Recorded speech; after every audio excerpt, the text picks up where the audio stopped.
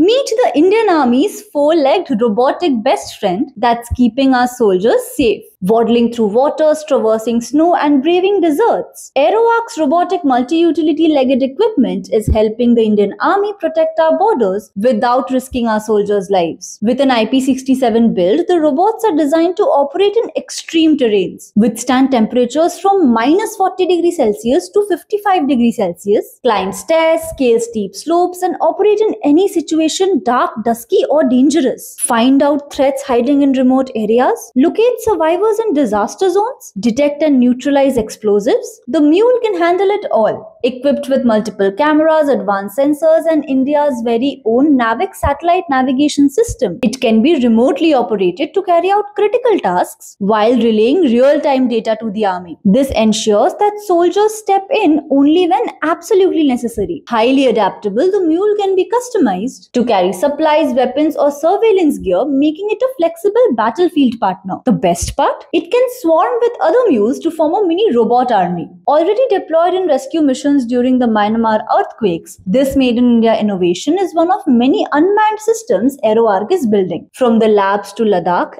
every robot built is one less soldier in harm's way.